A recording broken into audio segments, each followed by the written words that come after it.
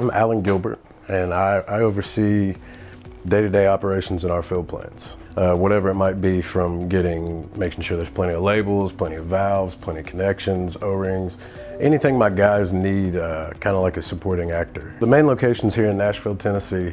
Uh, the other one is in Knoxville, Tennessee, and then we have another one down in Tullahoma, Tennessee.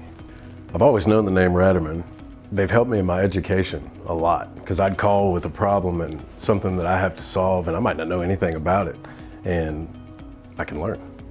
They've made it capable for me to grow. You know, I, we had an idea with some uh, labels. We wanted three stores, full address, phone numbers, QR code, logo, you know, this big idea, which you're expecting, you know, somebody to be like, you know, that's not possible, but they didn't even bat an eye. I didn't have to do much except literally talk about it.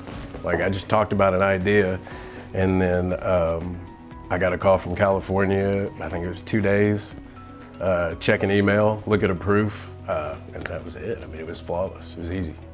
Don't waste your time anywhere else. Just don't. Uh, and I can honestly say I have wasted my time. But if you want to do it with somebody that has tried and tested and you know you're getting a product that's tried and true. Uh, and there's this you know there's that's the best way to go about it. I don't know how any any other way to say it except for uh, give it a try and i guarantee you that's the label that will be on your bottle